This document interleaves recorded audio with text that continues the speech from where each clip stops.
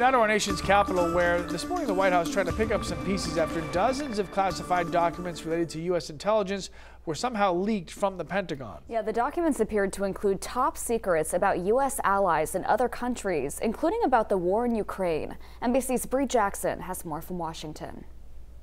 Lee, Chloe, the Department of Defense and the intelligence community are reviewing and assessing the validity of the documents, but U.S. officials say there's no question they pose a national security risk. Sensitive and highly classified intelligence leaked online. The Department of Defense has referred this to the Department of Justice for a criminal investigation. The leaked documents, some of them top secret, appeared on several social media sites. They reveal details about U.S. adversaries and allies, including possible weak links in Ukraine's military campaign against Russia.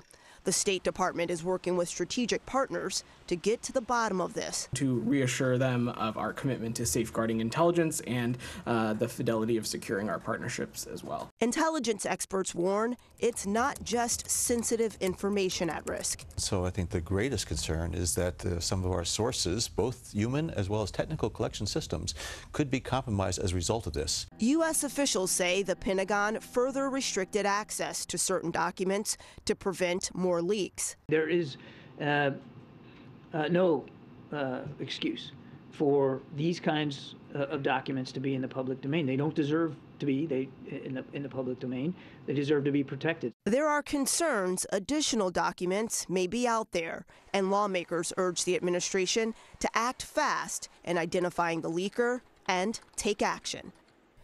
And we're told that members of Congress have been given a surface level overview of the situation and are demanding a more detailed briefing on the leaked Pentagon documents.